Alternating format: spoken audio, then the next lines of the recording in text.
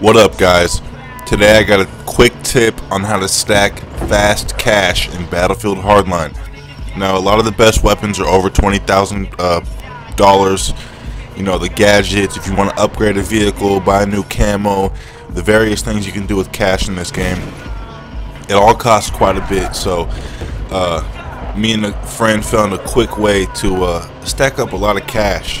What you're going to want to do is go into hotwire mode now, there has to be at least four people in the mode for it to start. So, you want to go to uh, server browser and then um, select Hotwire, and then of course search, and then pick one of the uh, the servers that have about three people, so you can be the fourth, close to as close to the number four as you can get for amount of people in the game.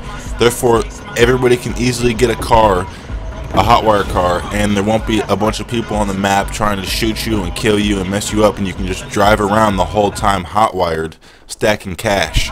So that's the main point what you're going to try and do is go into a server a hotwire server that doesn't have that many people it's not very populated grab the hotwire car and just drive around at top speed hotwired the whole time.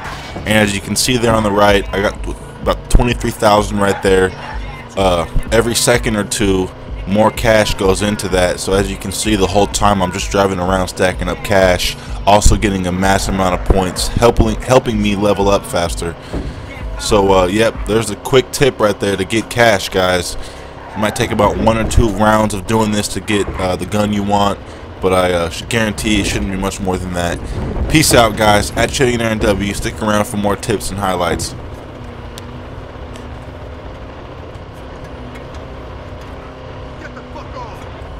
Time's running out, gentlemen.